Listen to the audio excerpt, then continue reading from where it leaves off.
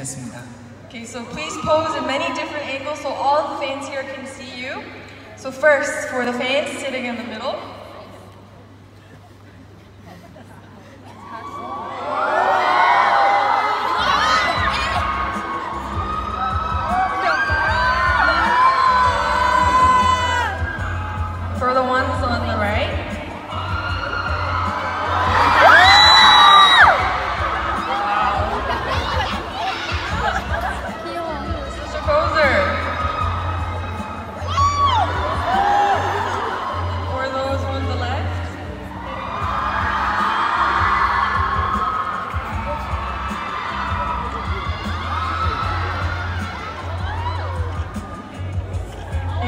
so much. So did you all manage to capture his poses in your phones?